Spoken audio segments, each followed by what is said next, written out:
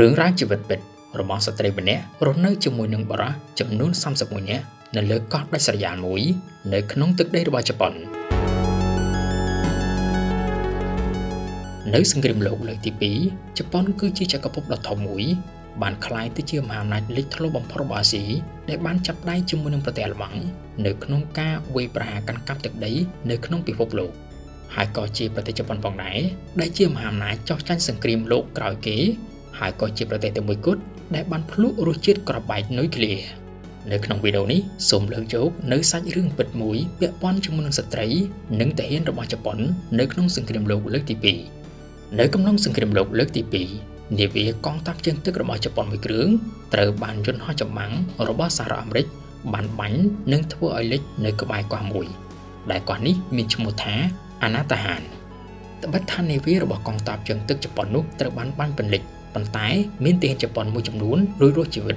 ពួកគេទាំងអស់នោះមានចំនួន31នាក់ហើយបានរត់ឡើងទៅលើកោះអាណាតាហាន ដែលស្ថិតនៅក្នុងមហាសមុទ្រប៉ាស៊ីហ្វិក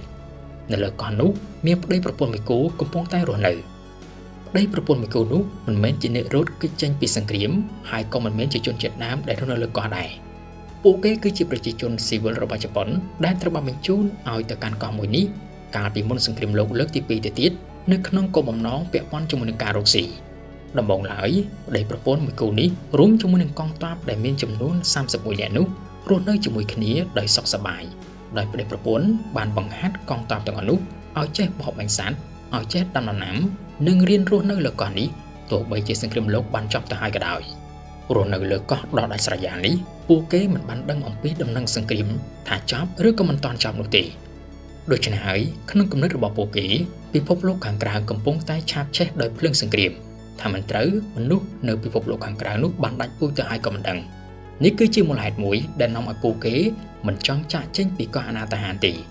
នៅកំឡុងពេលដែលពួកគេកំពុងរស់នៅលើកោះអនាតាហានដ៏ដាច់ស្រយាលនោះ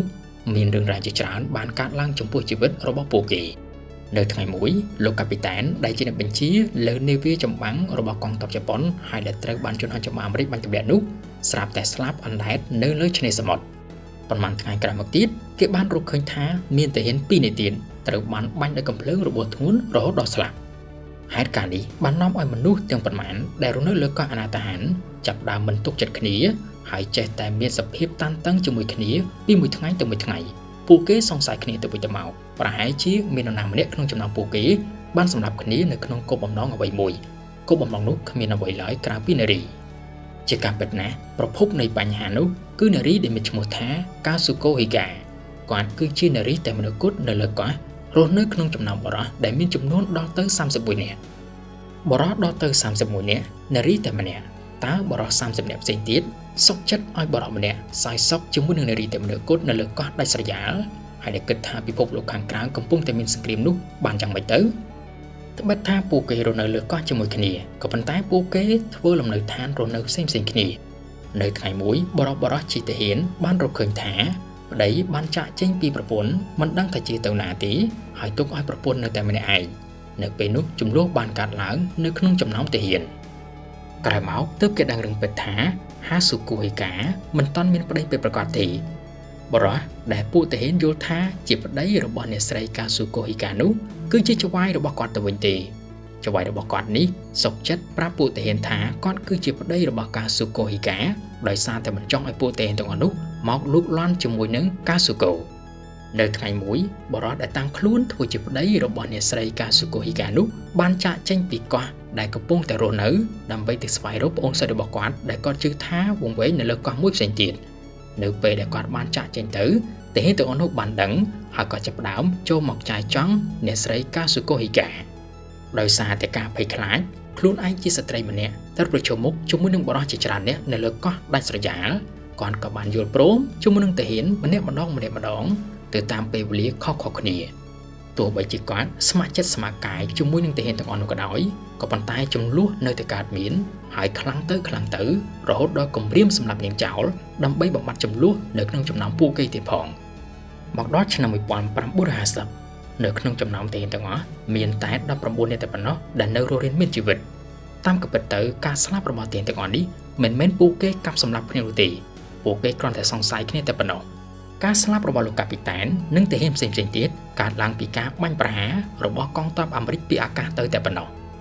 បរិះដែលនៅសល់ទាំង19នាក់នោះសង្ស័យគ្នាឯងទៅវិញទៅមកផងហើយក៏សង្ស័យថាអ្នកស្រីកៅស៊ូកូគឺជាអ្នកនៅពីក្រោយឃាតកម្មទៅលើទាហានផ្សេងៗទៀតដូច្នេះពួកគេមានជំរើសពីរទី1នោះគឺសម្រាប់អ្នកស្រីកៅស៊ូកូចោលហើយមួយទៀតនោះគឺត្រូវតែស្រស់ស្រួលគ្នាហើយរស់នៅដោយសុខសន្តិភាពជាមួយនឹងអ្នកស្រីកៅស៊ូកូ ដោយប្រពន្ធមួយរយៈប្តីមានដល់ទៅ19នាក់នៅពេលដែលបានដឹងរឿងនេះអ្នកស្រីកាស៊ូគូក៏បានរត់ចូលទៅក្នុងព្រៃដើម្បីលើកខ្លួនបន្ទាប់ពីលាកខ្លួនជាច្រើនសប្តាហ៍គាត់ក៏បានជួបជាមួយនឹងកប៉ាល់របស់អាមេរិកដែលបានធ្វើដំណើរទៅកាន់កងមួយនេះហើយត្រូវបានកប៉ាល់នោះនាំយកអ្នកស្រីទៅកាន់ទឹកដីរបស់ជប៉ុននៅក្នុងឆ្នាំ1951នៅពេលទៅដល់ទឹកដីរបស់ជប៉ុនហើយអ្នកស្រីក៏បានរៀបរាប់រឿងរ៉ាវនៃជីវិតរបស់គាត់ជាមួយនឹងបរិបទផ្សេងៗទៀតនៅលើកោះអាណាតាហាន ហើយមិនយូរប៉ុន្មានកងទ័ពរបស់អាមេរិកក៏បានធ្វើដំណើរមកកាន់កងមួយនេះហើយជួយសង្គ្រោះទាហានដែលនៅសេសសល់ចំនួន19នាក់នោះតាមកពិតទៅកោះអាណាតាហាននេះត្រូវបានជប៉ុនមួយកាន់កាប់នៅកំឡុង សង្គ្រាមលោកលើកទី1ហើយរដ្ឋាភិបាលរបស់ជប៉ុនបានបង្កើតក្រុមហ៊ុនមួយមានឈ្មោះថា Nanyang Shinfa ដើម្បីធ្វើការរកស៊ីនៅលើកោះមួយនេះនេះគឺជាមូលហេតុមួយដែលអ្នកស្រីកាស៊ូគូត្រូវបានគេបញ្ជូនទៅធ្វើការនៅក្នុងក្រុមហ៊ុននេះនៅក្នុងឆ្នាំ1939 នៅពេលនោះគាត់មានអាយុ16ឆ្នាំរឿងរ៉ាវជីវិតរបស់អ្នកស្រីត្រូវបានគេចងក្រងជាសៀវភៅជាវីដេអូហើយថែមទាំងបានយកទៅថតជាខ្សែភាពយន្តទៀតផងដែលមានចំណងជើងថា The Queen of Anatahan ចំណែកឯកោះអាណាតាហានចាប់តាំងពីឆ្នាំ1990មកទល់នឹងពេលនេះគេមិនអនុញ្ញាតឲ្យមនុស្សទៅរស់នៅលើនោះទេដោយសារតែមានភ្នំភ្លើងហើយនឹងរញ្ជួយដីខ្លាំងក្លាពេក ប្រម៉ូសិនអស់ស្ទះប្រម៉ូសិនអស់ស្ទះអូយស្ទះតែខ្ញុំជាអ្នកគិតលុយច្រើនបែបនឹងអាណាចាំអស់ឈប់ឈប់ឈប់ Easy POS BBZ Advisor គ្រប់គ្រងគ្រប់ប្រម៉ូសិនរបស់លោកអ្នកស្រួលស្រួលស្រួល BZ Advisor ជឿជាក់លើសពី1500អាជីវកម្ម